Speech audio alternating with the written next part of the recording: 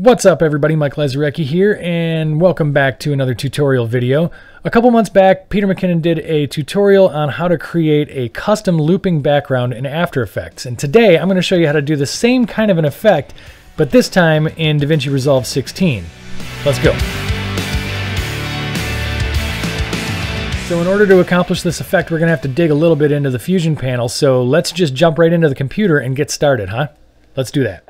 Let's go ahead and open up a new project within Resolve. And up here in the media pool, it doesn't really matter what panel you're in, but in the media pool, right click and click on New Fusion Composition.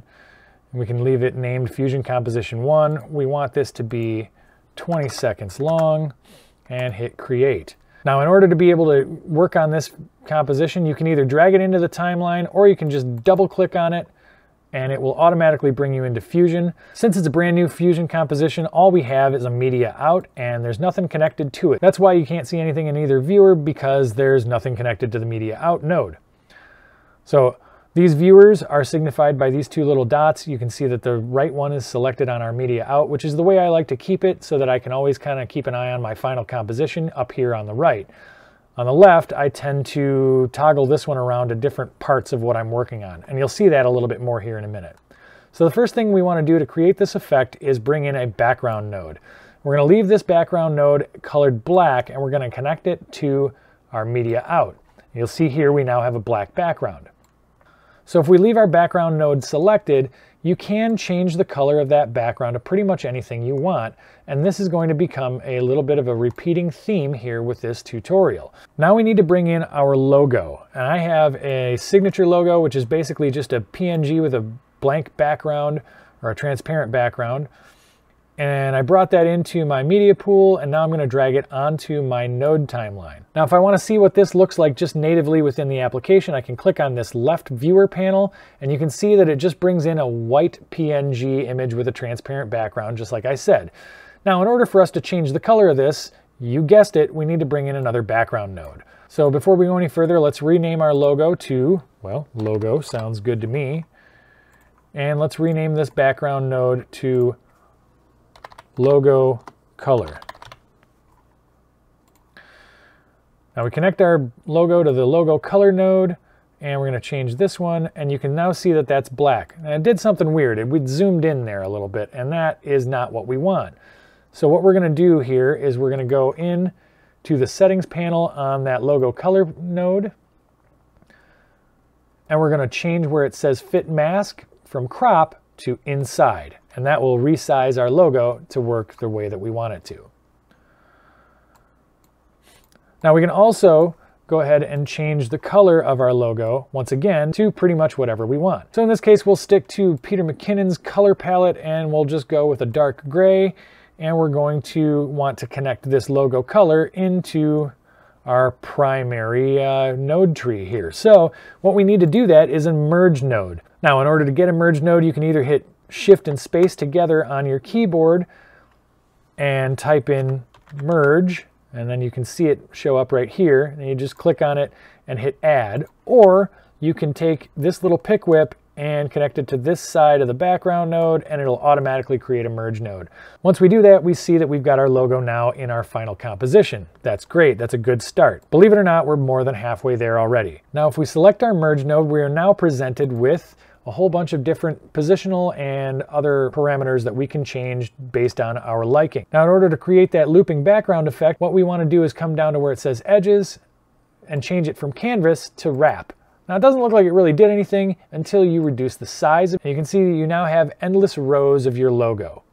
Now, what's cool here is you can change the size as I just showed you. You can also change the rotation angle to give it a little bit more of a unique look, we'll leave it at about negative 15.7.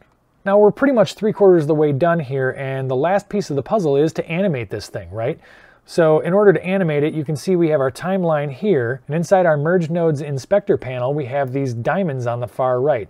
Those are our keyframe toggles. So on the first frame of this composition, let's go ahead and click the keyframe toggle for the center position, and then let's go all the way to the end so the last frame, frame 479, and then we are able to either change the center location using these two fields up here for your X and Y, or you can simply click the center and click and drag in the direction that you want to change it. And it allows you to kind of see the direction that you're going to change it in using this line here as sort of a guide. If you really want to be specific, you can click just the arrows and constrain that motion to one axis at a time. That way you can get a much more precise movement. But that's it. That's the whole animation for the really basic version of this. If we go back to the beginning of our timeline and press play, now you can see that we have this endless loop of our logo just kind of scrolling across the background, which is exactly what we wanted. Well, that's all well and good, but let's take this to the next level. Let's select all of these nodes by clicking and dragging, and then we'll hit the delete key, and we're gonna start fresh real quick here. So we're gonna bring in a background node and connect it up. We're gonna change the color of this to, let's say, a dark red. Next, we're going to bring in another background node, and we're also going to bring in an ellipse node, okay? Now, this is going to be a little bit different process, but bear with me here. We connect this one up to our background 2, and let's just pop this into the viewer. You can kind of see what's starting to happen here. We've got a, a, black circle, basically. What we're working on creating here is actually a vignette. So we're going to go ahead and change the name of this stuff to vignette. And we know that the background too is the vignette color. That's fine. It's going to stay black. But on our vignette node, we want to go ahead and hit invert. And then we're going to change the width and soft edge all the way up. Actually, we're going to go ahead and increase this to 0.4. And then we're going to increase the border width to kind of soften that up even further. And now we're going to connect this background node to the other one with a merge. And you can see we've got our background with a cool vignette on it, which is already looking pretty sweet. So now let's bring in our logo. Let's bring in another background node. Go ahead and connect this up. Rename for organizational purposes and we'll go logo color.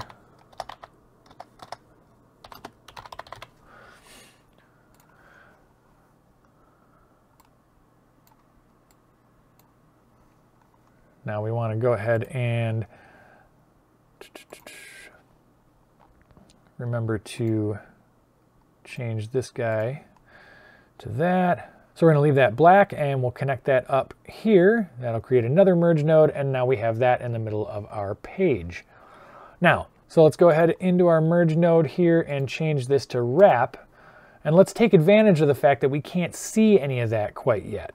So this is going to be the merge node that we want to animate. So we're at the first frame of our composition. Let's go up and hit the keyframe toggle for our rotation angle here. Let's go ahead and move forward four frames and we're going to begin a rotation this direction. Now let's move forward another four frames.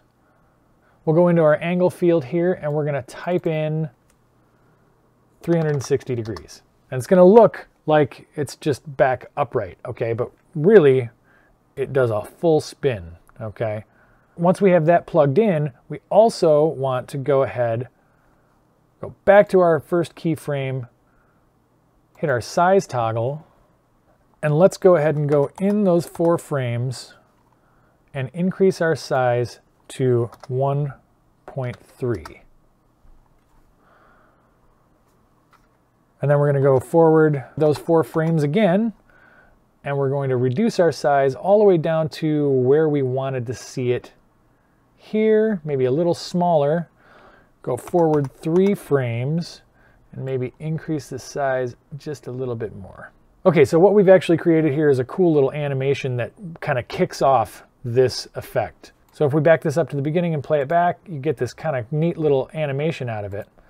Now what we can also do to add to this effect is we can add motion blur in the inspector panel. And let's say increase the quality to four. And that will allow for us to see a little bit more of that movement.